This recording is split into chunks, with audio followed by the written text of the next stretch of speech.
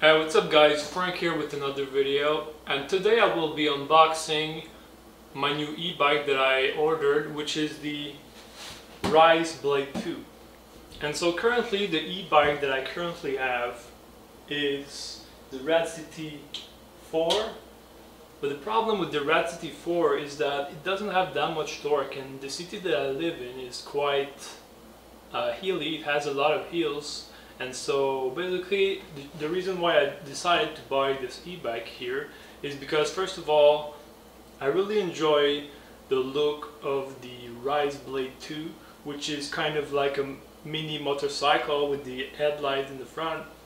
And I just basically enjoy the look of the retro uh, motorcycle style. And so that's one of the reasons and the second another reason why I decided to choose this bike is because uh, it's much more powerful than my other Rad City 4 which only I think it, it only has like 40 or 45 uh, of torque. And so this bike here pretty much has double the torque so it's much more powerful. But also the motor is also more powerful because this e-bike here is uh, 1000 mo uh, electric motor. And so while this one is only 500 so it's basically double the power. Also another reason why I decided to go with the Blade 2 is I really enjoy fat tires. Because fat tires yes they had more resistance when you use the bike but I think they're much more stable and they're much more comfortable and they're the when riding the bike I think it's much much smoother. And so because of that I really enjoyed fat tires and the Blade 2 has fat tires which I enjoy. And so basically I decided to go with this bike because of the of the style of the fat tires and also the motor that is much more powerful okay?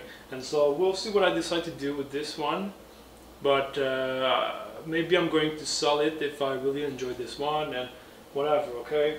And so my plan with this Blade 2 e-bike is that I would be able to do um, basically everything at the same time, right? Because it has the dual suspension in the front and also in the rear, and so I could use it to do mountain bike or some kind of outdoor adventure. Uh, I could also uh, go do Uber deliveries, food deliveries, because I think it also includes some kind of uh, rack, rear rack, and so I could use the rack that I already use with my city Rad City 4 and use it on on my uh, Blade 2. That's so that's another thing that I that I that I'm planning to do.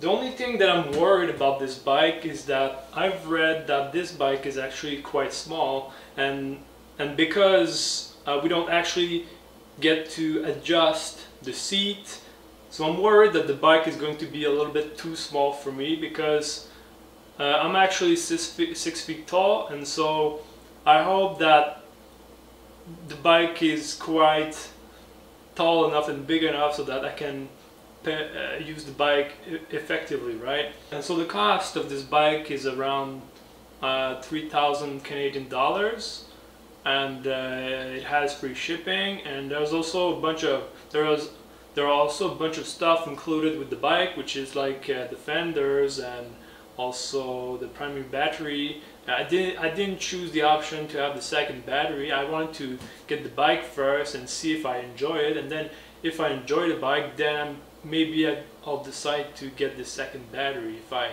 go into long rides or whatever.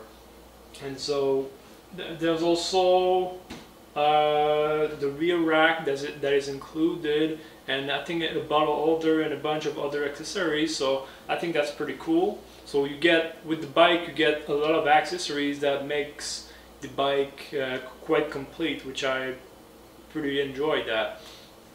Okay, and so I purchased this bike for $3,000 and I ordered it on February 6th and I just got it today and today is uh, February 13 okay it was actually estimated to get it tomorrow on February 14 but uh, it was a bit early I guess because I got it today okay? So it took uh, pretty much one week instead of eight days okay? So I just got it. And so the box is pretty big okay? It's pretty it's pretty big and also pretty uh, pretty heavy. And uh, the first thing that I noticed here is that uh, the box is actually a little bit damaged and uh, I mean it's not that much and I hope that the inside is still good but I can understand that the box is so big and so heavy that you know like it's just like the corners. I don't, I don't know I'll show you. And so the box is pretty big and pretty heavy but as you can see here uh, here in the corners and also some places in the in the bottom of the box like the box is not in perfect condition but I can understand that the box is so big. I don't know if you can see here there's there's a little hole here a little hole here also a hole in the bottom here I don't know if you can see right now. So there's also here in this corner that is pretty that is uh, a little bit damaged. And so the box is a bit damaged but I can understand that it's so big and so heavy that you know I, I find it quite reasonable to be honest. And so I'll open it and uh, see what's inside if it's well protected or not okay? Let's go. So here we can see the bike which is quite uh, already pretty much I think it's like 90% assembled or something like that. So there's a few things that still need to assemble or whatever but it looks in good, good condition we got a box here. It's pretty heavy, so I'm gonna open it and see what's inside.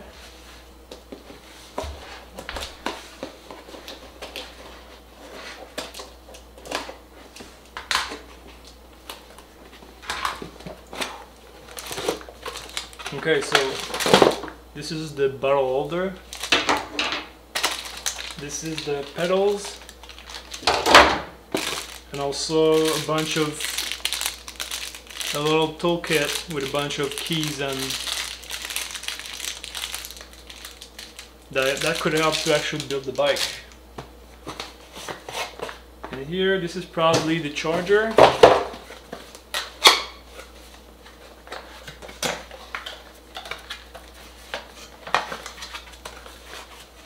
Yep, that's the charger.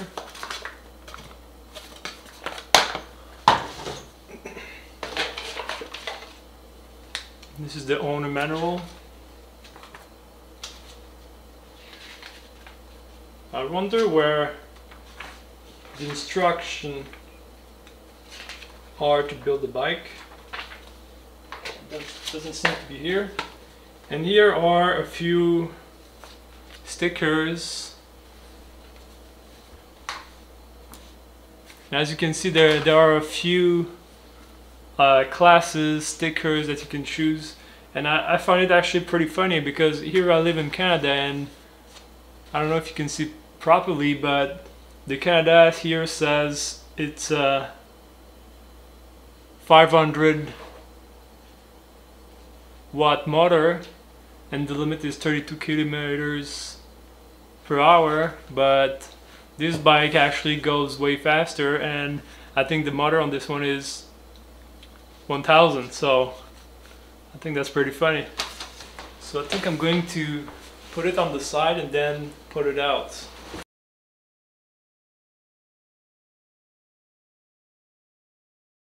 And so I removed the bike I removed everything from the box and my first thought on the bike is that it looks in really good condition. It doesn't look damaged at all. Okay there's a bunch of uh, tire wrap that I need to remove. And from what I'm saying here is that I only need to assemble and build the front the front wheel, okay? And here I have the front fender and I don't know if you can see it but the front wheel is actually here, okay? It's tire wrapped to the bike and so I simply need to remove the tire wrap and then build the bike okay and so I also noticed another small box that I'm going to open here. Okay this is actually the front headlight. The front light. Okay so we can find the instruction in the owner manual. And I just remember as well that on the website I think there are also videos to show you on how to build the bike but for now I'm just going to remove all the foam and tire wraps and see and see how it goes.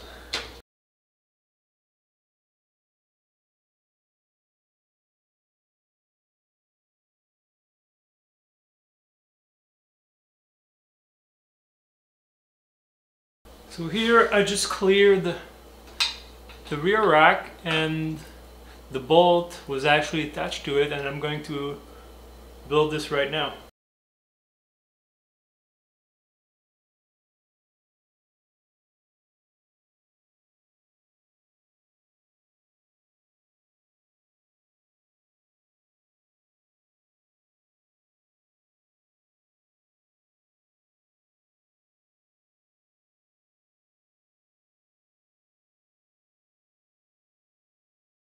So there you go, I just installed the rear rack and it seems pretty solid right now.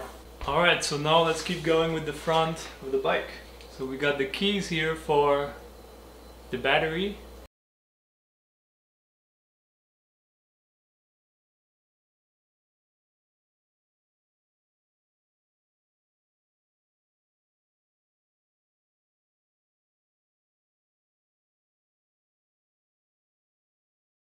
So we have the handlebar here.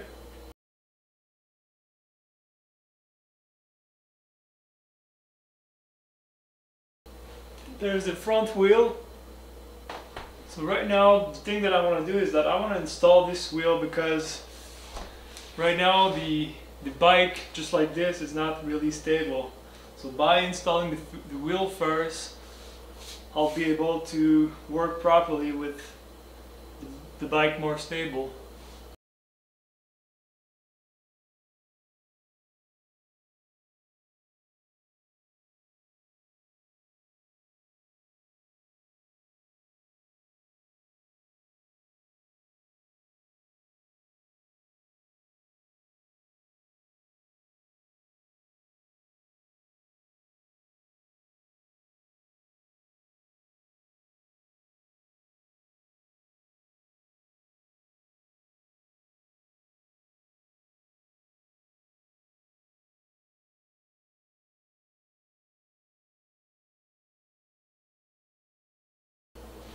So right now I'm going to install the handlebar.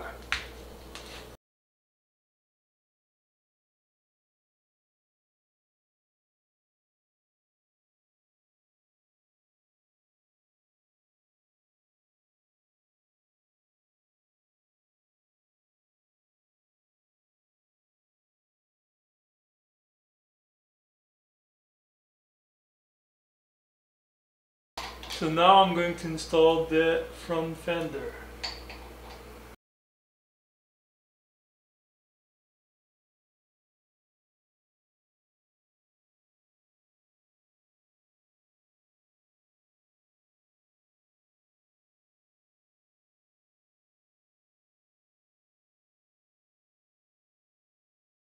Okay, so I just installed the front fender. Now I'm going to install the headlight.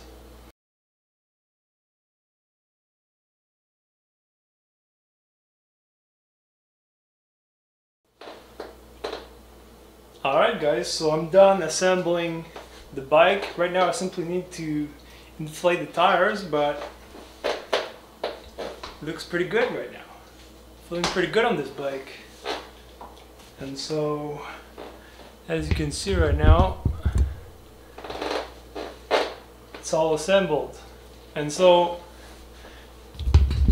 if you're looking to assemble this bike, instead of looking at the instruction manual, which is quite, uh, well, it does the job, but I would actually recommend to uh, check the video to assemble the, the bike which is on the product page.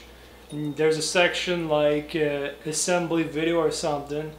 And I would actually recommend to check that video because it's much more useful and much more clear okay? So so that's what it is. Now uh, I'm going to inflate the tires and maybe go for a ride later on okay? So that's it guys. Let me know if you have any question and peace